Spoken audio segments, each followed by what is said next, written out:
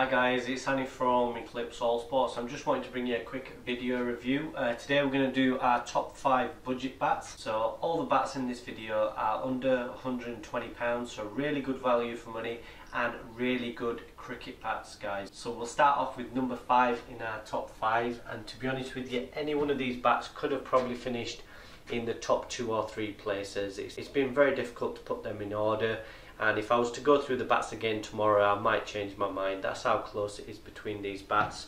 Um, so we're going to start off with this lovely SS Vintage 5.0 cricket bat. It's got these lovely purple stickers. This one's not got many grains. You've got one two three four grains and you've got this butterfly stain here. And you've got the butterfly stain going through the back of the bat. You've got some nice laser engraving and you've got the ton laser engraved there and you've got the S laser engraved further up as well.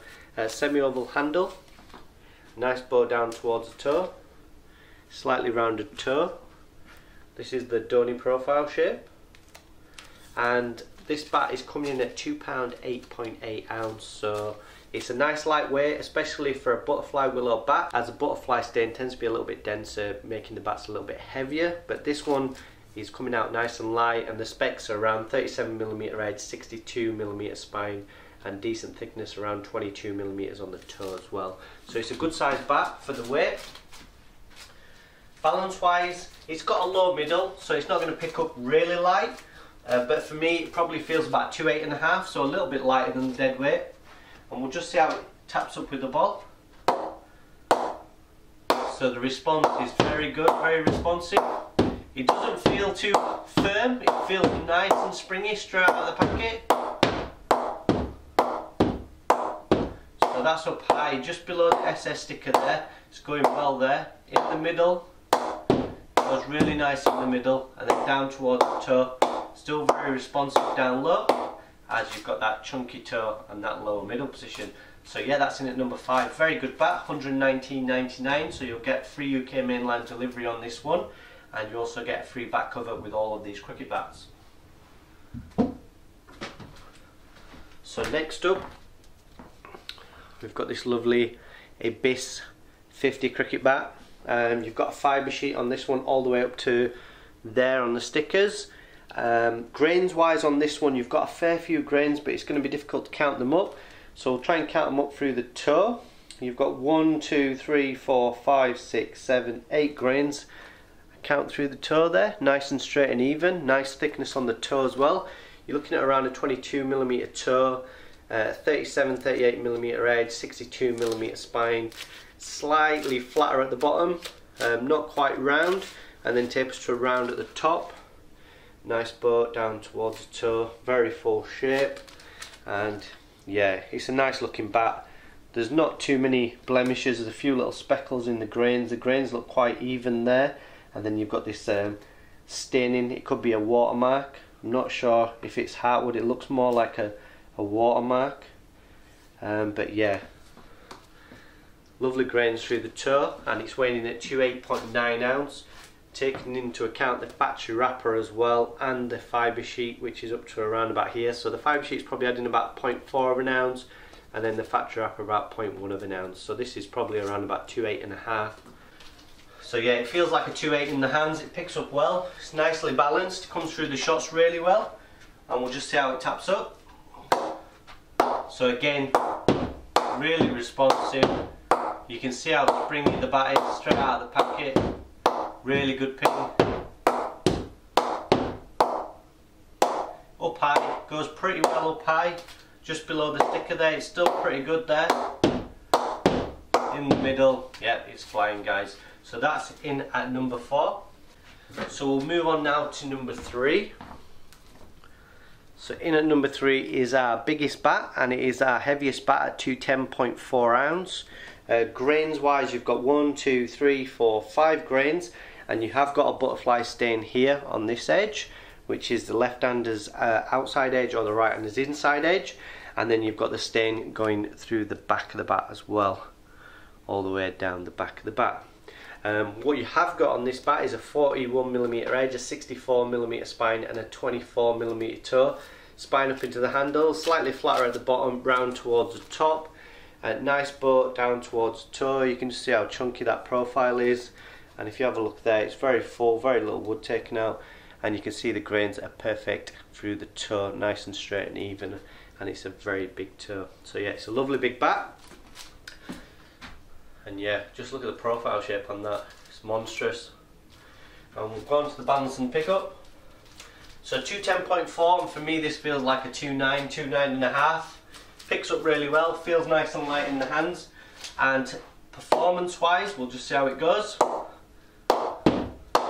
So you have got a slightly firmer feel than some of the other bats because of that butterfly stain. But the rebound and the power in the bat is fantastic. Really nice and responsive. And like I say, it could easily have featured number one and if I was to do it again tomorrow, maybe it would feature number one. But it's in at number three today and uh, that is the Intense Ferocity and that's 119.99 free UK mainland delivery and a free DSC back cover. So in at number two and yep, it's another DSC cricket bat. This is the Blak 5. And this one has got a nice big butterfly stain again. So butterfly willow is very popular at Eclipse at the minute. And um, grains wise, count through the tour you got one, two, three, four, five, six grains on this one. I think there's a seventh one there. But I'm not sure that's running through the face. I think it just goes off onto the edge. So we'll say six grains. Nice big butterfly stain and you've got that nice big butterfly stain on the back. And what's very impressive about this one this one's weighing at 28.4 ounce. And again you've got that fibre sheet all the way up to here which adds about 0.4 of an ounce. So this is around about 2.8 maybe 2.7.9 um, decent specs as well 38 mil edge 62 mil spine 21 mil toe. Uh, slightly flatter at the bottom on the handle so maybe a slight semi-oval and tapering to a round very full in shape and nice bow down towards the toe. So this is the lightest one in our top five. And it picks up really nice. Probably feels maybe two seven and a half, two eight. So yeah, it picks up well. And we'll just see how it responds. So what's impressive about this one is, even though it's got a massive butterfly stain, it's light you don't get that really firm feel, you get that nice, springy, responsive feel. So what's really impressive about this cricket bat, it doesn't have those normal characteristics you get with a butterfly willow where you get the firmer feel and you get heavier bat normally when you've got a big stain like this. Uh, this is coming out really nice and light and it's really responsive and the performance is fantastic.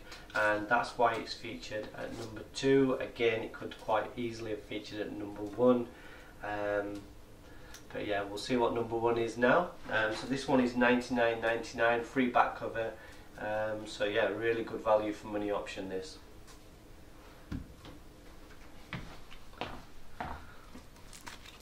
And finally in at number one you've got this lovely pink and white DSC Mushfiqur Rahim 100 cricket bat.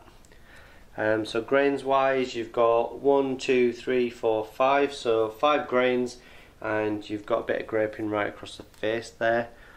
Um, so for everyone who thinks you need to get a bat with loads and loads of grains to get a good performing bat, that's not the case. Uh, these bats in this top five perform as good as any top end bat. Um, you're just not getting bats that look really nice in terms of the grain structure. Um, but yeah, you're still getting very good performing bats. So you've got 40 millimeter edge, uh, 63 millimeter spine, 24 millimeter toe, spine up into the handle. So this one is a thinner handle, a round, a little bit flatter at the bottom, but predominantly round, and a nice bow down towards the toe. This one's coming at 210.1, nice and full.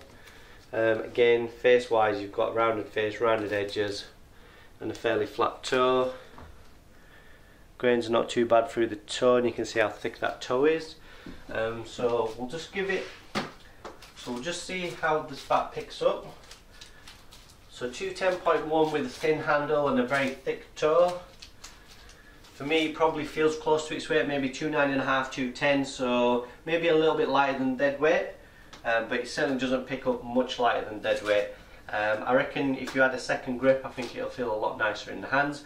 And we'll just see how it taps up. This one pings really well. The pressing on it is very good, very responsive. And because you've got that extra power, £2.10, you've got a little bit more weight um, than the Blak 5 and you've just got a little bit more punch and that's probably why it's just crept into the number one spot over the Blak 5 bat. But if you're looking for a light, powerful bat, then the Blak 5 is the one to go for. Really good bat. Uh, but if you like a 2.9, 2.10, then I would go for either the MR100 or the Ferocity bat. Both of those are fantastic. So yeah, there's something for everyone in this top 5 guys. And price wise, you're getting really good value for money. So yeah, excellent bat guys, 119.99, uh, free back cover, free UK mainland delivery, and that is the MR100 featuring number one in our top five uh, for the month of October. So I hope you've enjoyed the video review. If you have, please give us a thumbs up and a like. And if you've not subscribed to our YouTube channel, then please do so. And I look forward to bringing you plenty more video reviews. So until next time, I'll speak to you all soon. Bye bye.